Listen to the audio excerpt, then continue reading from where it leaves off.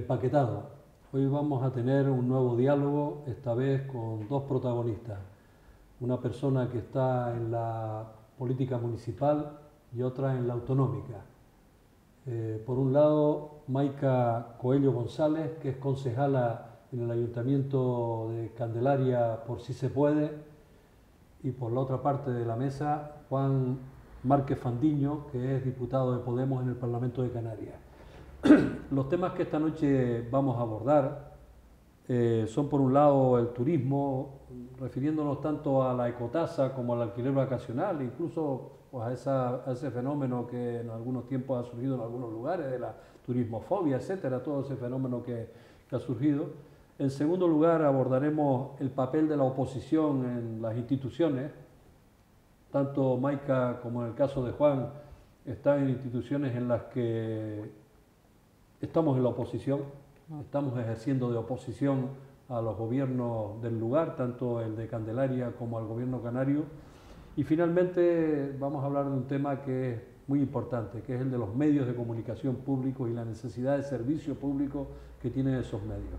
Pues entonces, Maika, en primer lugar, planteamos, ¿qué opinas tú sobre el asunto de cotasa, turismo, alquiler vacacional, todo este tema? Pues, ¿qué opinión tienes tú al respecto? Bueno, antes que nada, saludar, saludarte a ti, a Manolo, a Juan y a todas las personas que promueven, al equipo que promueve esta iniciativa fantástica que es la del empaquetado, ¿no? que es una oportunidad tremenda para poder dialogar y cada vez es más importante poder dialogar. ¿no? Eh, respecto a, lo que es la ecotasa, eh, el planteamiento eh, es, vamos, al respecto es que es una, herramienta necesaria, muy necesaria, para obtener beneficios que puedan reinvertirse en determinados ámbitos eh, finalistas y que aprovechen el enorme, la enorme cantidad de turismo que recibimos en estas islas y que de alguna manera deberían repercutirse en cuestiones fundamentales. Por ejemplo, la ecotasa sería muy interesante para poder financiar lo que es algo que yo conozco bastante de cerca, que es la gestión de los espacios naturales protegidos. En estas islas tenemos una superficie del territorio muy importante declarada como espacio natural protegido, pero de nada vale tener esa cantidad de suelo protegido si después no hacemos inversiones que permitan en aquellos espacios pues mantenerlos, conservarlos, ofertar pues un uso a las personas que los, que los usan, que los visitan, o compensar a las poblaciones que viven en ellos, que también de alguna manera tienen que verse beneficiadas de esa gestión en esos espacios naturales. Entonces, una ecotasa permitiría que ese ingreso fuera dirigido directamente a cuestiones como esta, que es puro medio ambiente, espacios naturales protegidos. Hay otros ámbitos que también permitiría compensar pues, el, consumo de recursos magníficos que hace ese flujo turístico, ¿no?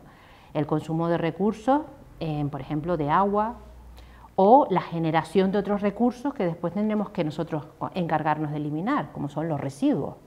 Entonces, con la ecotasa, con ese carácter de entender que cobramos algo para después invertirlo en unas cuestiones muy concretas y muy determinadas, yo entiendo que la ecotasa es una apuesta que es clave. Lo que pasa que en estas islas siempre el, el, enfoque se hace desde el punto de vista de vamos a no molestar mucho, vamos a no perjudicar mucho o entendemos que perjudica si grabamos con un nuevo impuesto ese flujo turístico o a los hoteleros o a determinados sectores, entonces intentamos tanto proteger eso que al final acabamos perjudicando la gestión de nuestras islas. Hacemos otra vuelta ahora sobre el asunto del turismo, pero Juan, en el asunto concreto de la cotasa que estábamos hablando, mm. yo te he visto aquí en el Parlamento de Canarias defendiendo el asunto y encontrar enfrente la tremenda oposición del gobierno sin explicar los motivos por el que lo hacen. Sí, bueno, la, ¿qué tal? encantado de estar aquí en, esta, en este empaquetado, en esta iniciativa audiovisual tan necesaria. para las fuerzas de progreso, las fuerzas de izquierda que estamos en Canarias y que no encontramos muchas veces el espacio para dialogar con la calma ¿no? Mm. que se requiere. La respuesta que tuvimos del gobierno de Canarias en aquella comparecencia que le hicimos en el Parlamento fue sorprendente porque ellos hacían referencia a la turismofobia cuando planteamos la necesidad de, de implantar esa tasa ecosocial, su respuesta fue la, la turismofobia, algo que no tiene absolutamente ningún sentido, ni siquiera ha habido conatos en Canarias de turismofobia, entre otras cosas porque la gente sabe que el problema del turismo de masa, no, la culpa no la tiene el turista, sino que la tiene las políticas nefastas que ha habido en esta materia. Y cuando hablamos de turismo no podemos dejar de hablar de, nuestro modelo productivo, ¿no? de la estructura económica que tiene el archipiélago. Con estos datos y además vemos que cada año se va incrementando el número de turistas que tenemos en Canarias. El año pasado llegamos a los 15 millones, este año se prevé llegar a los 16 millones de turistas, no porque se está haciendo tampoco una política eh, de, Canarias que esté favoreciendo en este sentido, sino porque hay una situación geopolítica con nuestros competidores que no son los países europeos, sino que es el norte de África, Túnez, Egipto eh, y eh, Turquía, que bueno, con una situación de inestabilidad y de falta de seguridad, pues este turista viene, viene a Canarias. Con todo eso, con 16 millones de turistas en una población de 2 millones de habitantes, tenemos cifras de desigualdad que están a la cabeza de Europa. Tenemos unas cifras de desempleo, ya no hablemos de desempleo juvenil, eh, de pobreza infantil, datos que, son, que todos conocemos, ¿no? que son dramáticos. Esto con 16 millones de turistas. Ahí podemos analizar qué está sucediendo, por qué la riqueza que se, genera en un sector tan potente como el sector turístico canario no penetra en otras capas sociales, no beneficia a otros sectores productivos de Canarias. Y es un gran análisis que hay que hacer, que es necesario hacerlo. Pero en tanto en cuanto este modelo siga en adelante, no entendemos, habiendo ese incremento anual de número de turistas, cómo no se implanta algo que está en otros países europeos y en otras comunidades autónomas también del Estado español, que es la, la tasa turística. ¿no? Yo creo que solo hay una explicación y es que quien gobierna Canarias, quien está al frente de las instituciones, no representa los intereses generales de la comunidad autónoma, sino los intereses de determinadas empresas, de determinadas élites económicas, que además en, su inmensa mayoría están eh, radicadas en otros países, o sea, están fuera de Canarias, con lo cual tampoco están generando esa riqueza dentro del archipiélago. Nosotros es algo que nos desconcierta y lo hemos tratado en varias ocasiones y la última vez, bueno, a consecuencia de este cambio que ha habido en la Consejería de Turismo, con un nuevo consejero, pues saber cuál es su opinión y siguen en, las mismas tesituras. Justamente Mike además hacía referencia a, varios elementos que son clave. La gestión, por ejemplo, de nuestros residuos. ¿Cuál es nuestra capacidad de carga en Canarias? Nosotros hemos preguntado sobre la capacidad de carga del archipiélago y el gobierno de Canarias no ha hecho hasta ahora ningún estudio al respecto. O sea, cuando asumimos 16 millones de turistas, tenemos que tener en cuenta cómo vamos a gestionar nuestras aguas, eh, la depuración de los residuos, nuestros vertederos, evidentemente eso cuesta dinero. Y si no tenemos un sector turístico que esté generando la riqueza que requiera nuestro archipiélago, pues a través de una ecotasa, una tasa turística ecosocial, podríamos por lo menos empezar a plantearnos la inversión en determinadas eh, infraestructuras que son necesarias. El otro aspecto que preocupa en el turismo y que pensábamos abordar hoy era el asunto del alquiler vacacional, es tan controvertido. O sea, ¿qué opinión te merece a ti, Maika? Bueno, desde, por ejemplo, en Candelaria nosotros hemos planteado incluso una moción para promover el alquiler vacacional. Eh, yo creo que al, al, alquiler vacacional se le han atribuido muchas consideraciones negativas que en sí mismo no tiene por qué tener. Eh, yo entiendo que el alquiler vacacional mm, lo único que hace es intentar democratizar y repartir un poco más la riqueza derivada del flujo turístico y que no se quede concentrada solamente en el espacio eh, hotelero y extrahotelero, sino también en la ciudadanía en general que puede tener una casa y la pone y la comercializa. Y yo conozco personas que tienen esas, esas casas y le ofertan a quien, a quien acogen una calidad de la visita y unos servicios que ya les gustaría a hoteles de cinco estrellas. ¿no?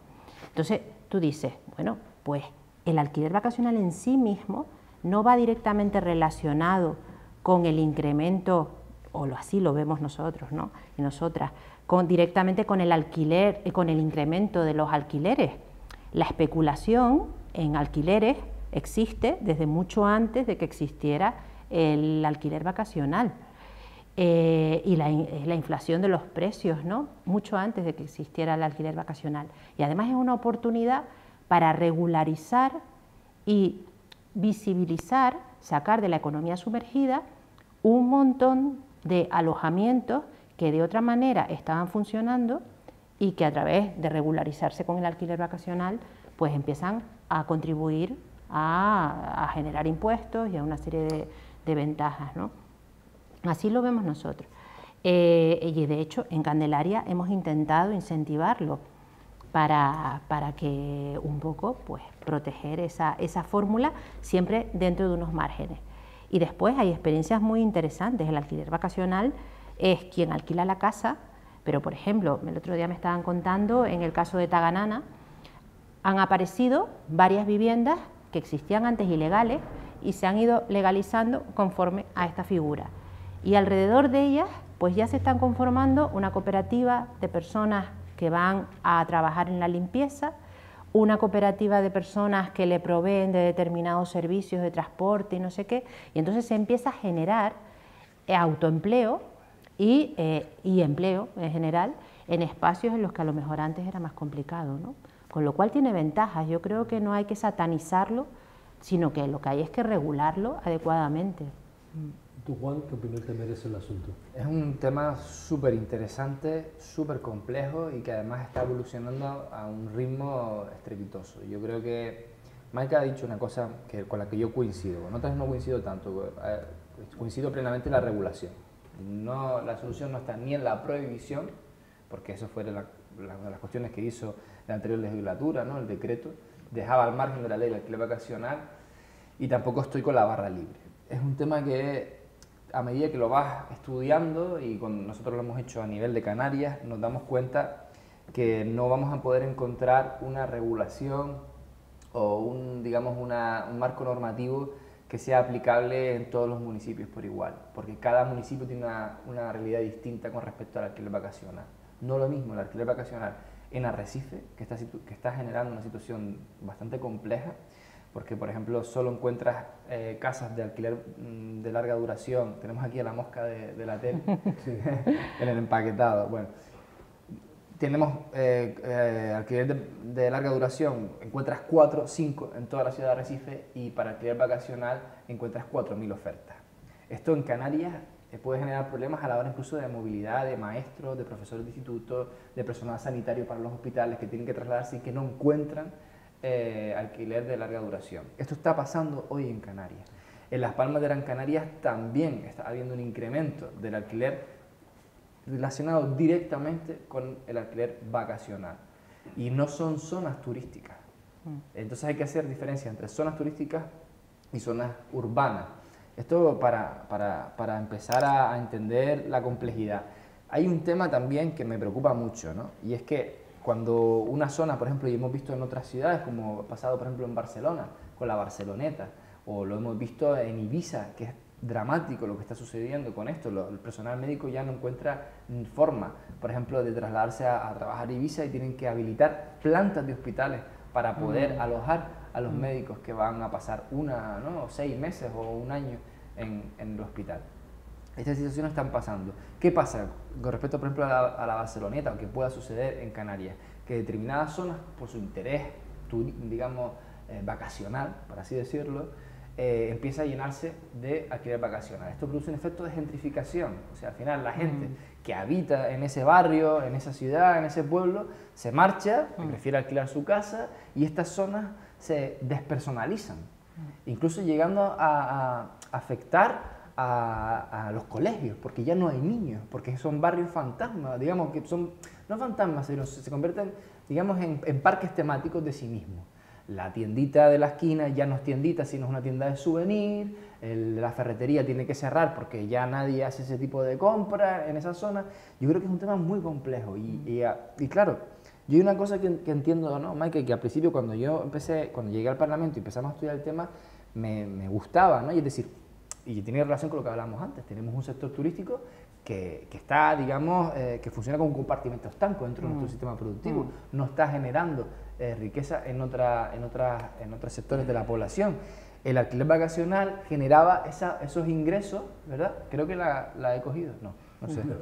generaba otros ingresos en, en, en, familias, en, ¿no? en, nuestra, en otras capas sociales a los que no llegaba el sector turístico. Por eso a nosotros nos parecía interesante, porque era una, era una manera de favorecernos directamente del turismo sin depender también de las grandes turoperadoras, de las grandes cadenas hoteleras. Pero hay muchas, muchos factores, muchos vértices en esta historia. La capacidad de carga que, no, que mm. tenemos que controlar, lo que mm. hablamos, si a, a, nuestras camas hoteleras le sumamos las cientos de miles de camas en alquiler vacacional, son cientos de miles de plazas también y de, y de carga que estamos asumiendo en Canarias.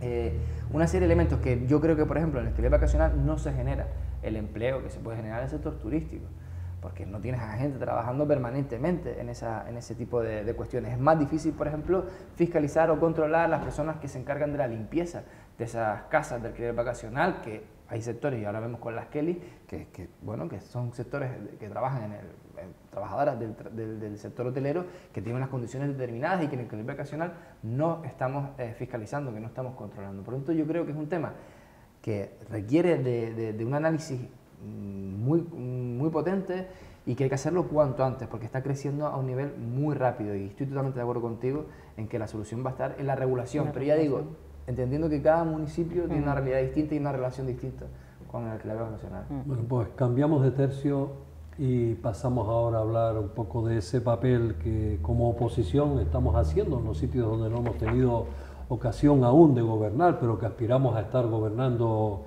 muy pronto. Entonces, en el caso tuyo, Maica, en Candelaria, o en el caso de Juan, en el Parlamento Canario, ¿qué, ¿con qué te has encontrado tú como oposición ahí dentro y cómo has desempeñado ese papel y qué problemas y qué planteamientos tienes? Porque a veces se desconoce, se piensa que, bueno, como no estamos en la oposición, no tenemos capacidad de influir o no tenemos capacidad de control. Mm.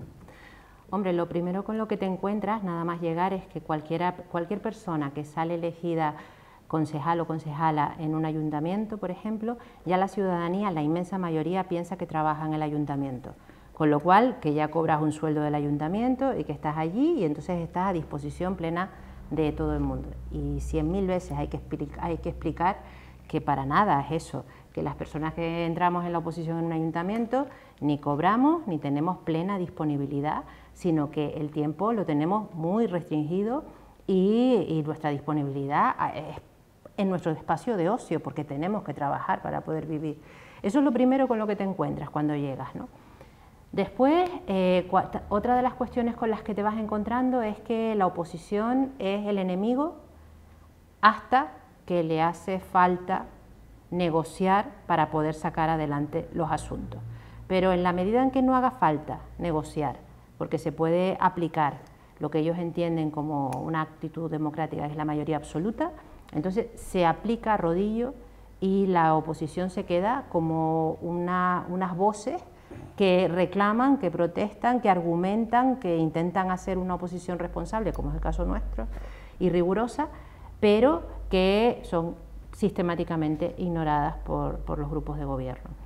Entonces te das cuenta de que las instituciones son bastante, bastante antidemocráticas eh, en su esencia. Y después la, en la labor de la oposición en, la, en una administración local es eso, es tremendamente ingrata, porque al no poder estar en la, en institución, pues mm, no, es, no, hay transparencia, no se facilita la información que se solicita. en el caso nuestro, por ejemplo, en Candelaria hemos tenido que reclamar ante el diputado del común ya hasta en tres ocasiones para que se nos facilite la información a la que tenemos derecho y aún así ni siquiera al diputado del común se la envían. O sea, te encuentras con una realidad que es muy, muy, muy, muy dolorosa, porque es muy triste, porque cuando uno se aproxima a este ámbito, muchas cosas las desconoce, te las imaginas, pero nunca piensas que puedan ser así de duras. ¿no? Tú, Juan, en el Parlamento, con tu primera experiencia política, en tu corta trayectoria, ¿con qué te has encontrado? Bueno, es, es complejo, ¿no? Es, y a la par que interesante. Yo comparto con, con Maika que a veces hay momentos duros ¿no? en, en, la vida institucional que, bueno, que tienes que aguantar pues, ciertas actitudes que nada tienen que ver con lo que uno piensa que debe ser la democracia o lo que entiendes que debe ser, por ejemplo, el trabajo legislativo. Ahí yo creo que mm, no se hace la diferencia, ¿no? no se respeta el espacio que tiene que tener el Ejecutivo con el, con el Legislativo y en el Parlamento de Canarias lo vemos, vemos cómo no, el, el, Ejecutivo no respeta el trabajo que se hace en el Parlamento en muchas ocasiones, se aprueban cuestiones que son trabajadas, que son elaboradas durante un montón de tiempo y que después no cumplen. ¿no? Y, sí hemos visto una, un cambio interesante en, el tiempo que llevamos en el Parlamento, porque empezamos con un gobierno en mayoría, con el Partido Socialista, esto se rompe en diciembre y desde entonces, claro, Coalición Canaria está en, en absoluta minoría, con el apoyo vamos, eh, total de Casimiro Burbelo, pero esto ha abierto un, un proceso más interesante a la hora de negociar, a la hora de llevar iniciativas que pueden salir adelante, incluso modificaciones legislativas que estamos planteando, que ahora hablaremos de la televisión canaria, por ejemplo, que sí que puedan salir adelante precisamente por, esa, por ese gobierno en minoría. Y esto de alguna manera ha animado el trabajo legislativo y sí es verdad que hemos notado un cambio desde entonces. Yo creo que en el año 2015 se produjo un cambio muy, muy potente en las instituciones. Ha habido una aparición de muchísimos cargos públicos de las fuerzas del cambio y yo creo que eso ha cambiado eh, en, en muchas nuestras instituciones. Yo no me imagino cómo sería el Parlamento de Canarias, y, no, espero que no suene pedante, pero de verdad que no lo, no lo imagino como era antes de la, de la, llegada de Podemos. Yo creo que no solo, y además los datos están ahí, se está trabajando más porque hemos entrado con mucha fuerza, con muchas ganas y hemos obligado también a los otros partidos a ponerse las pilas y a, a, la hora de trabajar, pero también saben que los estamos mirando muy de cerca y estamos fiscalizando con mm. solicitudes de documentación, con, con, con, bueno, con iniciativas de auditorías y demás que, están, que estamos siempre encima ¿no? y siempre mm, pues, analizando lo que están haciendo y con, críticas yo creo que eh, duras pero constructivas, porque al final yo creo que es, lo que, es de lo que se trata, de intentar cambiar la realidad de, de, nuestras islas, incluso estando en la oposición. Y yo creo que en, determinados asuntos sí que lo hemos conseguido. Yo creo que es un trabajo duro, porque no es el trabajo del Ejecutivo, que bueno, también tenemos compañeros que, que tienen esa responsabilidad y que, que, que, es muy fuerte, pero el trabajo de la oposición no se ve tanto, pero es absolutamente necesario para poder generar esos equilibrios en, la, en democracia. Yo creo que en el año 2015 se produjo ese, ese cambio radical que yo creo que espero que, que, vaya en crecimiento. Sí, bueno, yo creo que los deseos que tenemos, por lo menos los tres que compartimos esta mesa, es que, que podamos seguir recibiendo el apoyo en las, en las, elecciones próximas para seguir demostrando, ya que se está haciendo desde la oposición en muchos sitios y en algunos sitios donde se está gobernando se ha demostrado la suficiente solvencia para hacer las cosas de manera diferente y más en favor de las mayorías sociales, yo espero que llegue a un mayor convencimiento dentro de la población y sigamos recibiendo apoyos mayoritarios porque este país hay que cambiarlo de alguna manera, desde lo local, lo autonómico hasta el nivel del Estado. Mm, si quieren le pasamos al tercer y último asunto, que sería el de los medios de comunicación públicos, el papel que juegan, etcétera. Es decir, eh, normalmente vemos cómo la televisión pública canaria o la televisión española, sea el Canal 1, el Canal 2, el Canal Internacional, los que tengan, nos encontramos que pertenecen casi a la ideología del grupo que está gobernando en ese momento, ¿no? Mm. Entonces, eso no parece que sea sano para una democracia ni para un servicio público. ¿Tú, Maika? No es, no es nada sano, ni es decir, ni debería estar permitido que un, instrumento de comunicación, en el caso de la televisión tan potente, esté manejado desde el poder político y el poder político de los que gobiernan en cada momento. ¿no? Pero el problema es que eh, está tan arraigado en, en la práctica política habitual que tienes que controlar absolutamente la información para que nada se te escape y que otros no puedan entrar en ese espacio, porque es preferible que no se les vea y ningunearlos, que llegas a niveles mm, realmente miserables. ¿no? Yo me acuerdo en Candelaria que propusimos mm, que se, en la web municipal hubiera una pestaña para cada una de las organizaciones políticas y de los grupos políticos que estábamos en el ayuntamiento, que había información municipal, institucional, pero que después nuestras propuestas también tenían derecho a estar en la web. Y cuando hicimos la propuesta se nos acusó de que si lo que queríamos era hacernos publicidad, que buscáramos otra fórmula. Yo digo, no, publicidad no, es el trabajo que hacemos dentro de esta corporación, porque somos parte de esta corporación municipal, no son solo ustedes los que gobiernan, sino también nosotros somos, y tenemos derecho a estar en esa web mostrándole a la ciudadanía las propuestas que traemos a este pleno. La publicidad ya nos la hacemos nosotros por nuestra cuenta, no se preocupen. Pues no hay manera, cosas tan esenciales. ¿no? Propusimos que en la radio municipal hubiera por lo menos una mesa de debate con las organizaciones políticas presentes en el municipio y las que estaban en el ayuntamiento y también las que no están en el ayuntamiento. Y sí, se aprobó porque no quedaba más remedio, porque ya no había mayoría absoluta, sino era minoría, pero aún así no se ha consolidado una cosa tan sencilla como hacer esto, pero a nivel de una radio local. El hábito está demasiado eh, implantado y las resistencias al cambio en ese sentido son impresionantes.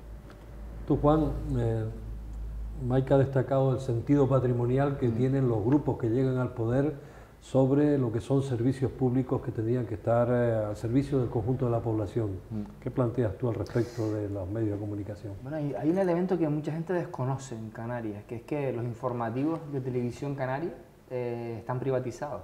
No los hace la televisión canaria, los hace una empresa privada. Esto hay que explicarlo bien y me gustaría que la gente lo entendiera porque cómo influye esto no solo a la información que se da a la televisión canaria, sino también la que se da a los medios privados. Hablamos de un contrato a 8 años que son 144 millones de euros que se lleva una productora. Es decir, cada 8 años la televisión canaria saca un concurso y le monta una televisión a un medio, a una empresa privada que compra sus infraestructuras, que, tal, que tiene unos márgenes de beneficio, sus directivos. Esto, claro, resulta que cuando se genera, cuando se crea Televisión Canaria, los medios, algunos medios de prensa escritas montaron sus productoras audiovisuales para llevarse contratos con la Televisión Canaria. Con lo cual, a, través de la Televisión Canaria, no solo se controla la información que se hace a nivel regional de la televisión, sino que ha servido para comprar las voluntades de algunos de los grandes medios de comunicación de Canarias, que a través de sus productoras audiovisuales se llevan estos concursos millonarios. Por eso nosotros ahora estamos planteando, precisamente en el Parlamento de Canarias, desprivatizar los informativos que sean de gestión directa y que haya un consejo de informativos donde estén los trabajadores, los trabajadores además sean, sean trabajadores públicos para poder tener capacidad a la hora de quejarse. Incluso en, televisión española, en las peores épocas del Partido Popular, manipulando, los trabajadores han podido alzar la voz y quejarse. Lo mm. hemos visto estos días con lo que sucedido, mm. sucedido en Cataluña, cómo los trabajadores han quejado de la información con aquellos carteles de vergüenza, ¿verdad? Pues esto no puede suceder la televisión canaria porque son trabajadores que están en muchos, en muchos casos en precario y en otros están trabajando por una empresa privada que evidentemente no tienen esa capacidad a la hora de, bueno, de garantizar la información objetiva y plural. Por eso es importante, no solo ya desde un punto de vista ético, político, sino además económico. Nos hemos gastado cientos de millones de euros en informativos y la televisión canaria solo tiene en propiedad una unidad móvil que además está desfasada. ¿no? Entonces, vemos como la prioridad no solo ha sido el control de la información en este caso, sino además el enriquecimiento de algunos grandes empresarios de la, de la comunicación en Canarias. Con lo cual, imagínense en el, espacio en que quedamos a la izquierda, en, ese, en ese, digamos, ese reparto de la tarta, ¿no? Cuando todos los intereses tienen que ver con intereses económicos y nada tiene que ver al final con el interés general y con lo que marca la propia Constitución española cuando habla de garantizar el derecho a la información ¿no? objetiva. Es un derecho constitucional y se está incumpliendo por todas partes, pero que se haga en un medio privado, pero lo triste es que se está haciendo a través de los medios públicos, ¿no? Por eso se hace tan importante esta, yo creo esta propuesta que llevamos, ¿no? Que es de sacar ese concurso de, de las manos privadas y hacerlo a través de la gestión pública, que hay un consejo informativo, un consejo asesor y que realmente desde el Parlamento, desde las instituciones públicas podamos fiscalizar y controlar lo que se está haciendo en, nuestros medios y más en un territorio como Canarias, que, es un territorio diseminado, ¿no? que estemos unidos por el mar, pero bueno, estamos fragmentados territorialmente y necesitamos tener un medio que, que precisamente fomente esa cohesión territorial y social y la televisión canaria es fundamental en ese trabajo. Pues bien, hoy les hemos ofrecido en nuestros diálogos en el empaquetado pues tres asuntos. El asunto del turismo en general, hablando tanto de la ecotasa como de la vivienda de alquiler vacacional. Por otro lado, hemos expresado pues, nuestras ideas al respecto sobre el papel importantísimo que se juega en las instituciones cuando no se llega al poder, porque se está en la oposición, pero se juega un papel muy importante y fundamental, aunque seguimos aspirando a estar pronto en el poder en muchas de esas instituciones. Y finalmente, yo creo que tanto Maika como Juan han dejado claro el papel unilateral que están jugando muchos medios de comunicación cuando están en manos de los grupos de poder y no están para la mayoría social. Por tanto, pues muchas gracias y nos volvemos a ver en otra ocasión en un nuevo diálogo en el empaquetado.